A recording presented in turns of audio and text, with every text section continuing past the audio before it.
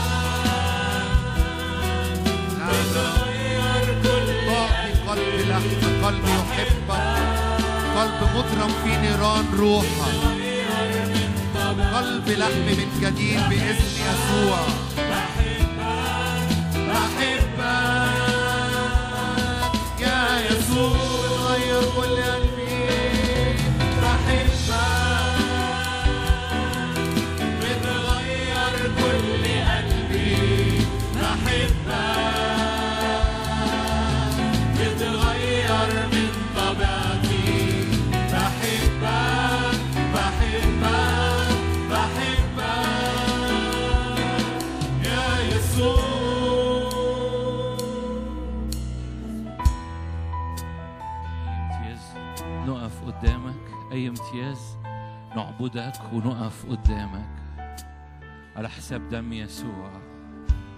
أي امتياز أبويا السماوي في هذا اليوم إن إحنا نتقدم بثقة على حساب النعمة إلى العرش الإلهي. أي امتياز يا رب من سيفصلنا عن محبة الله التي لنا في المسيح يسوع؟ في بداية اليوم كده مجرد قول له آبا الآب. أنا جاي قدامك آبا. جاي قدام أبوتك جاي قدام مراحمك عهدك ونعمتك. أنا جاي أتغطى جاي أفرح جاي أرفع إيماني وإيديا جاي أعلنك آبا. يا رب نعظمك جدا لأنك صالح لأن إلى الأبد رحمتك. أي امتياز آبا تسمح لنا إحنا نقف قدامك ونعبدك. أي امتياز يا رب نقف في زمن وفي وقت وفي مكان لكي نعلن صلاحك ونعلن أمانتك. أي امتياز يا رب ننفض كل تراب وننفض كل أحمال وأثقال. أي امتياز يا رب نعليك جدا علينا في هذا الزمن باسم الرب يسوع. يا رب نعظمك من أجل النعمة النازلة بنعظمك من أجل المحبة والأمانة بنعظمك من أجل الآيات والعجائب بنعظمك من أجل السماء المفتوحة والسلم ملائكة الرب صاعدة ونازل على ابن الإنسان. بنعظمك من أجل الدم والفدا بنعظمك يا رب من أجل حركة السماء علينا باسم الرب يسوع. بتغطي بالنعمة جدا كل ضعفات بتغطي بالنعمة جدا كل الأمور يا رب. نعم نعمتك تكفينا تكفينا جدا النعمة وتزداد نعمتك جدا. نعمة فوق نعمة. يا رب نعظمك أن النعمة كافية جدا. تفضلت نعمة ربنا مع الإيمان والمحبة. فاضت جدا. نعمة نعمة نعمة. فمد إيدك معايا. قاعد أو واقف. قول له رب اسكب نعمة بشكرك. نعمتك كافية. نعمتك كافية. نعم اعلن كده. إن النعمة كافية. تكفيك النعمة. تكفيك النعمة. النعمة أقوى جدا من كل أمور أخرى. النعمة أقوى من التراب. النعمة أقوى من الأحزان. النعمة أقوى من الضعف. النعمة بتنتشر. النعمة بتطلق قوة. النعمة بتطلق مسحة. النعمة بتطلق حضور الرب على حياتك. النعمة بتعلن أحضان الآب لك. نعمتك كافية جدا أبويا السماوي وبنعلن حركة نعمتك على هذا اليوم علينا وعلى كل من يستمع. أي امتياز يا رب؟ نعلن آبا الآب. أي امتياز نقول إن إحنا جايين نستخبى فيك يا خالق يا مصدر يا أب يا رائع. أي امتياز يا رب؟ بنأتي قدامك وبنفتخر بإلهنا. وبنعظمك باسم الرب يسوع. يا رب نعظمك جدا. من يفتخر فليفتخر بالرب جدا. هللويا. ما دام الرب معك فمن عليك. ما دام الرب لك فأنت أغنى. في اسم الرب يسوع. إن كان الرب لك. ورب لك أعطاك ابنه. كيف لا يهبك مع ابن كل شيء. رب لك. في اسم الرب يسوع.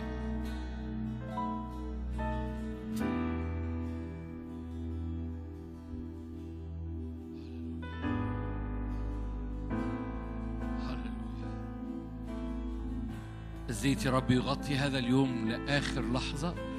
الزيت يغمر يا رب والنعمة تغمر. أنت تطلق نعمة خاصة وتطلق قوة خاصة وتغطيات خاصة وفرح خاص. نعم أملأ املأ هذا اليوم فرح باسم الرب يسوع؟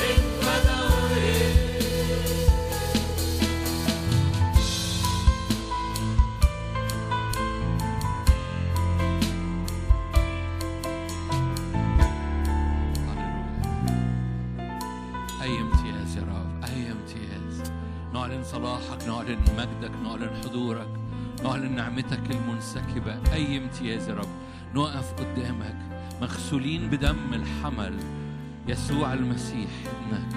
أي امتياز يا رب نقف قدامك. بنمتلئ بالروح القدس بنمتلئ بالنعمة بنمتلئ بحضورك. بتوقع عنا التراب بتلحس الحجارة والتراب. أشكرك رب والمياه والبرودة وبتشعلنا.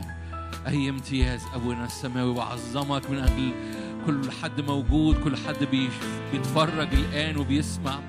بشكرك أبويا السماوي لأنه أي امتياز إن نقف في الزمن وفي الوقت أمامك في اسم الرب يسوع. هللويا يا رب. ما أعرفش أنت شاعر ولا لأ بس حاسس روح نعمة روح تضرعات منسكب. خد دقايق كده عظمه خد دقايق بلغتك أنت سبحه ارفعه عليه. اطلب منه طلباتك لهذا اليوم توقعاتك هو يعمل إيه أو أشواقك اطلب منه. ماذا تريد أن يفعل لك؟ حاسس إن الرب موجود. ماذا تريد أن يفعل لك؟ تحب يحصل إيه؟ الرب عايز يسمع صوتك. مش تعود إنك بتحضر اجتماعات لكن قولي له اسكب قلبك اسكب روحي قدام الرب. قالت حنة اسكب نفسي.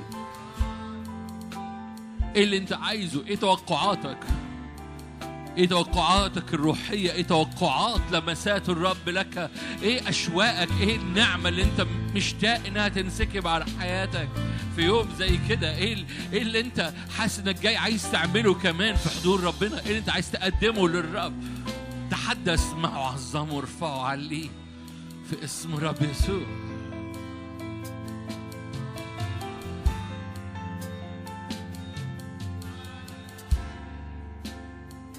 أكثر مما نطلب أكثر مما نفتكر أكثر مما نطلب النعمة كافية جدا أكثر مما نطلب أكثر مما نفتكر بحسب غنى المجد.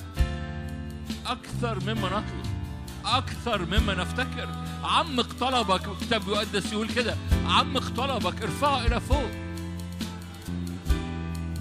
أكثر مما نطلب أكثر مما نفتكر بحسب غنى المجد.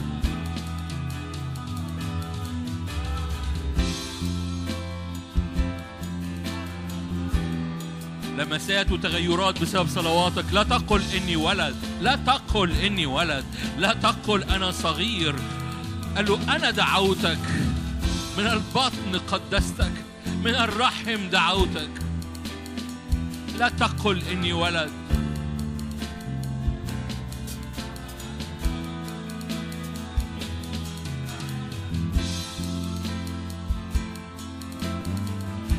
تأثيرات قوية باسم رب يسوع لأجواء لظروف لحياة لعائلات بسبب صلواتك وصلواتك باسم رب يسوع. أكثر مما نطلب أكثر مما نفتكر حسب غنى المجد الذي لنا في المسيح يسوع في الابن الوارث. كنا أبناء نحن ورثة ورثة الله في المسيح يسوع.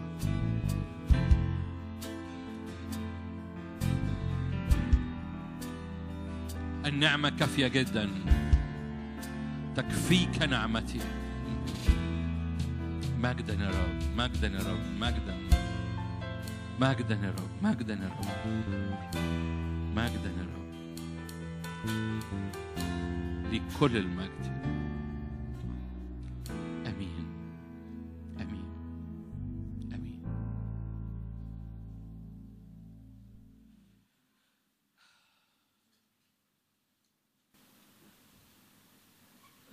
ازيكم؟ منورين. مرحب بيكم اللي كمان جايين من حتت بعيدة. نعتذر طبعا إحنا عملنا اليوم في وقت مش مناسب للجامعات وثانوية عامة. بس بس في, في الأغلب ربنا كان عايزنا نعمل اليوم ده في الوقت ده. حتى لو ما كانتش كل الجامعات خلصت. آه، إيماني كده وإحساسي إنه زي ربنا عمل لنا إحنا كمين إن إحنا نعمل اليوم في الوقت ده. لأنه في حاجة مهمة يعني شاعر في حاجة مهمة في الروح في وجودنا في محضر الرب في وقت زي كده في زمن زي كده في المكان اللي إحنا واقفين فيه في بلدنا يعني. ف اليوم مش هيتحول إن إحنا عن البلد ما زال اليوم بكل الكلمات والمشاركات والأشخاص اللي هيشاركوا في هذا اليوم متحرك في الروح القدس. بس إيماني جدا إنه إنه الزمن اللي إحنا واقفينه مهم. يعني مش عارف ليه أنا شخصيا حاسس كده إنه مهم إن إحنا واقفين النهارده. مهم إن إحنا واقفين النهارده قدام ربنا. ده إحساسي وده إيماني. وإيماني كمان إن كل واحدة وواحد فينا زي ما كنت بصلي كده دلوقتي إنه ما تقولش أنا يعني عارفين الآيات دي؟ أرمية. أنا أكيد عارفينها. أنا شارك مشاركة صغيرة وبعد كده حدي الميكروفون لإخواتي. النهارده مشاركات صغيرة. هنخلص بسرعة. هنخلص بدري يعني مش آه هم اجتماعين ما بينهم بريك فأشجعك إنه يعني ما. هم اجتماعين ما بينهم بريك بس اجتماعين فيهم حاجات متنوعة ف أو يعني أشخاص متنوعين جوه كل اجتماع. فهشارك مشاركة صغيرة قوي. أرمية واحد كلكم عارفينها. عدد خمسة. قبلما صورتك من البطن عرفتك. عارفينها؟ قبلما صورتك في البطن عرفتك. يعني انت موجود قبل ما تتخلق. انت اتخلقت في بطن أمك بس انت موجود قبل ما تتخلق. جواه. قبلما صورتك في البطن عرفتك فانت موجود قبل ما تتخلق. قبلما خرجت من الرحم قدستك. يعني انت مخصص للرب. قبل ما تتولد. فأنت موجود قبل ما تتخلق أنت مخصص قبل ما. قبل ما تتولد. جعلتك نبيا. للشعوب قال أه يا سيد إني لا أعرف أن أتكلم لأني ولد. قال لي لا تقل إني ولد.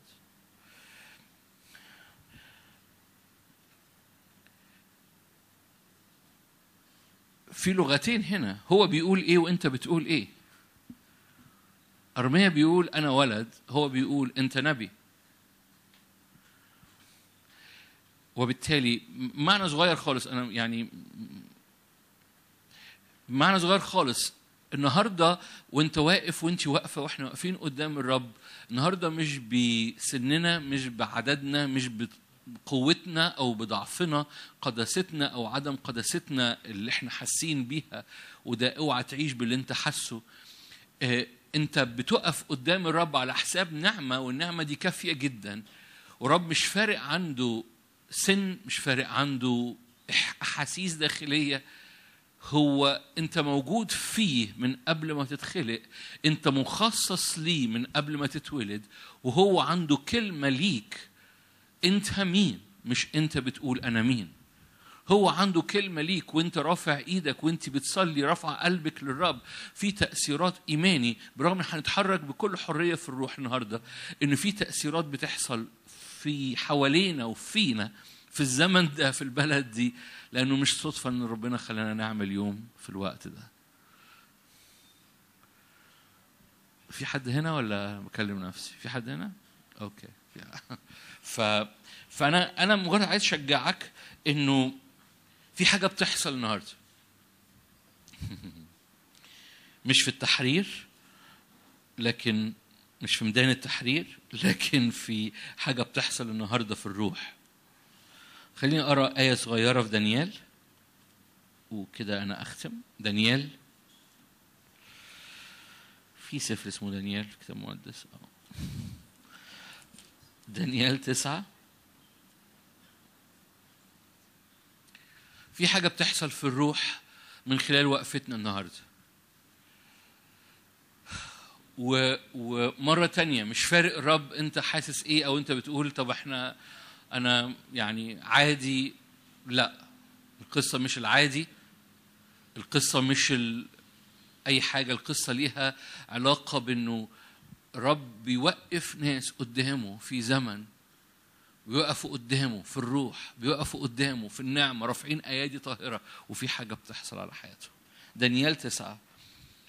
دانيال سفر دانيال معروف بس هقرا معاني صغيرة. في السنة الأولى لداريوس ابن أحشاويرش من نسل الماديين الذي ملك على مملكة الكلدانيين.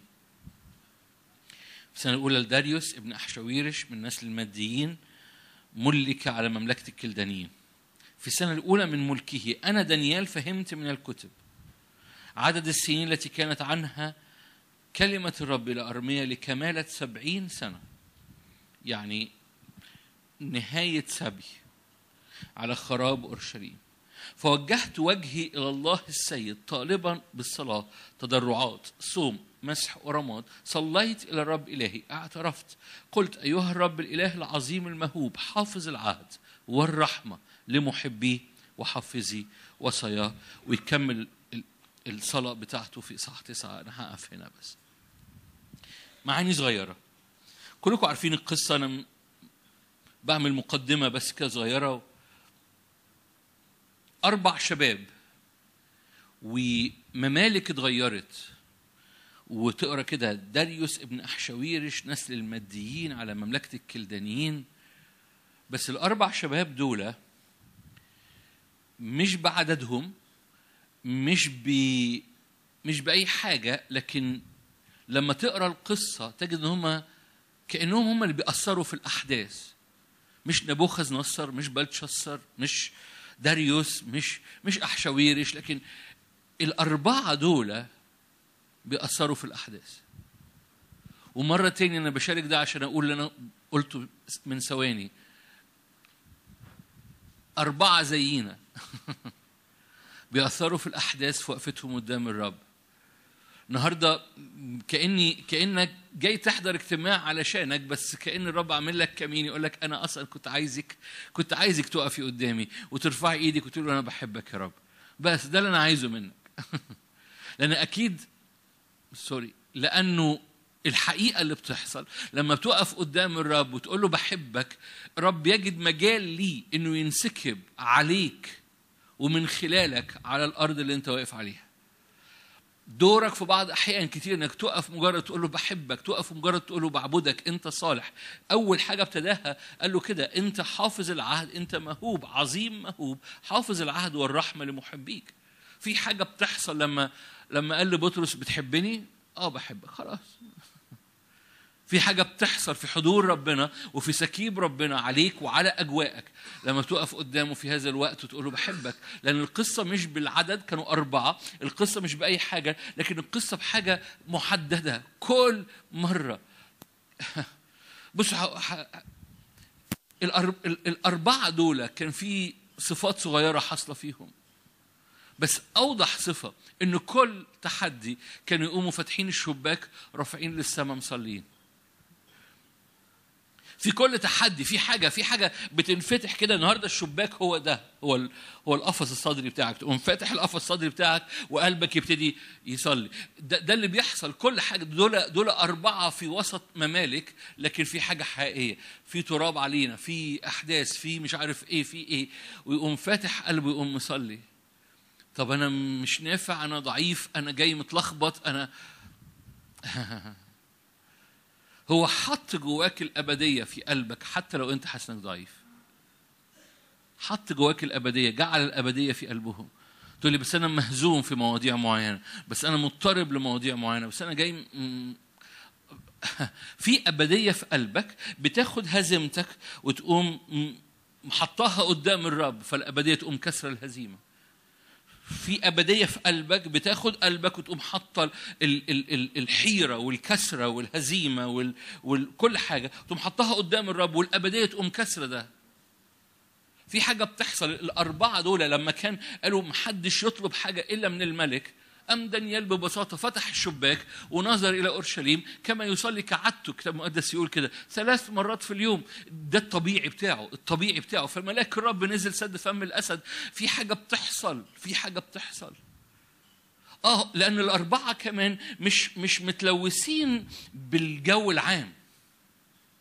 بمعنى إيه؟ مش إنه ما فيهوش خطية. بالمعنى إن هم ال ال ال ال الشارع بياكل إيه؟ هم ما بياكلوش اللي بياكلوا الشارع. أنت معروض أكل ليك مختلف عن أكل الشارع. الشارع بياكل خوف الشارع بياكل اضطراب الشارع بياكل حاجات كتيرة قوي.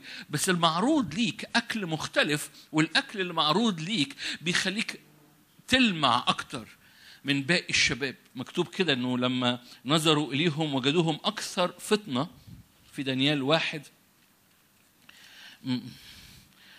نظروا إليهم فوجدوهم عشر أضعاف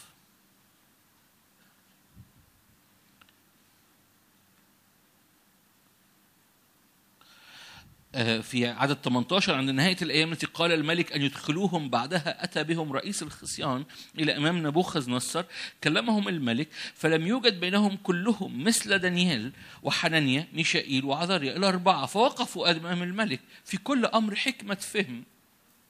سألهم عنه الملك وجدهم عشر أضعاف فوق كل المجوس والسحرة الذين في مملكته. ليه؟ لأنهم بياكلوا أكل مختلف. تقول لي بس أنا باكل من الشارع في بعض الأحيان. أقول لك آه عشان كده معدتك توجعك. لكن لكن لكن معروض ليك برغم إنك في بعض أحيان وكلنا في بعض أحيان بناكل من الشارع. أنتوا فاهمين طبعا أنا بتكلم على إيه أكل الشارع يعني. في بعض برغم إن إحنا في بعض أحيان بناكل من الشارع معروض ليك. سفرة تانية فيها أكل تاني ولو كلت منه مش بس معدتك بتخف من أكل الشارع لكن أنت كل حاجة في حياتك بتنور. الكسرة والهزيمة والضعف والحيرة واللخبطة والكعبشة وكل حاجة في شبابك بتنور لأنه الأكل اللي أنت بتاكله في المائدة اللي هو بيعدها ليك مختلفة تماما. فقالوا قالوا بص قالوا الأربعة قالوا كده لنبوخذ نصر عايز تغير أسامينا غيرها عايز تعلمنا لغة الكلدانيين علمنا عايز تعرفنا أنتوا عارف انهم كانوا عارفين عارفين إزاي السحر بيتعمل؟ كانوش بيعملوا سحر بس كانوا عارفين السحرة بيعملوا إيه. هم اتعلموا كل حاجة في الكلدانيين.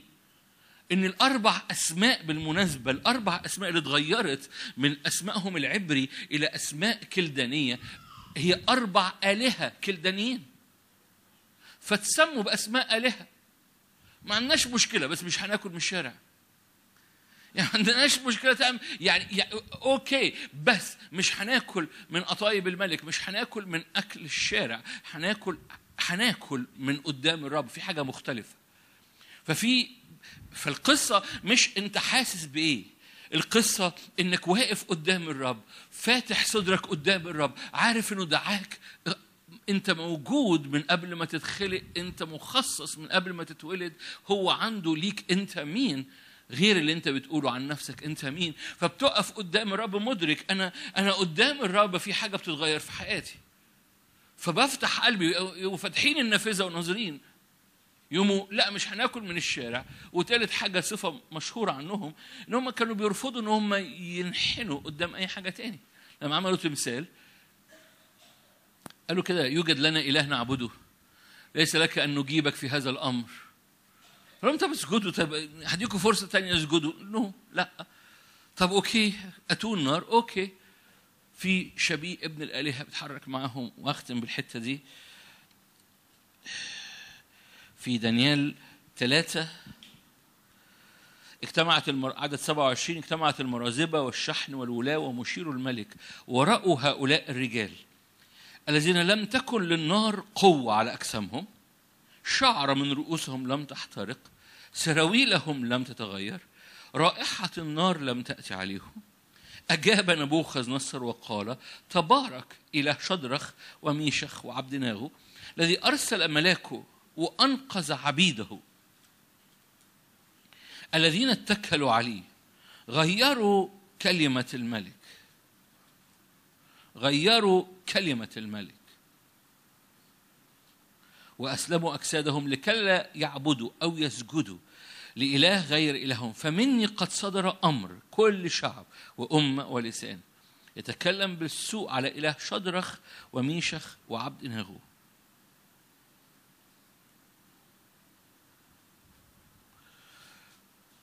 فإنهم يسيرون أربابا تجعل بيوتهم مذبلة. أنا مش عارف نبوخذ نصر إزاي استحمل أو أنا عارف إزاي استحمل ما يبقاش مؤمن. أقول لكم ليه أنا عارف. هو أنا عارف لأنه ما كانش ينفع يعبد الرب لأن موقعه كقائد ما كانش ينفع يعبد الرب. بس اللي حصل في حياة نبوخذ نصر وكلمات نبوخذ نصر بتعلن جدا إيمان قلبه. عارفين ترنيمة الآيات والعجائب اللي صنعها مع الرب العلي هو اللي كاتبها نبوخذ نصر في أربعة مؤثرين جدا وده اللي أنا جوايا وأنا خلصت. ده اللي جوايا. النهارده وقفتنا قدام الرب. حاسس إن هنفرح حاسس إن هنسبح بفرح حاسس إنه الرب هيسكب بروح فرح روح إيمان. حاسس كده الرب في حاجة مبهجة الرب عايز يسكبها من قلب الآب لكل واحدة وواحد فينا. لأن القصة مش بعددنا القصة مش بتقوانا القصة مش بشكلنا لكن القصة حاصلة بسبب وقفتنا قدام الرب. بنقول له بنحبك أنت صالح. في حاجة بتحصل في الأجواء في حاجة مؤثرة بتحصل في الأجواء. أمين. وال- واللي حصل مع مع الأربعة فتية دول حاصل معانا. معروض ليك أكل مختلف. معروض ليك أكل مختلف. انت انت بتفتح قلبك وبتصلي للرب. وانت رافض إنك تسجد لإله آخر. في أربع فتية هنا. ولأنك بتاكل بتاكل من وجبة أخرى ولأنك ما بتسجدش لإله آخر ولأنك بتفتح قلبك وتصلي التأثيرات بتحصل لأن ده ميراث الأربع فتية. ده ميراث الأربع شبان اللي كانوا موجودين في ذلك الوقت. آمين. آمين. هللويا. أنا كده خلصت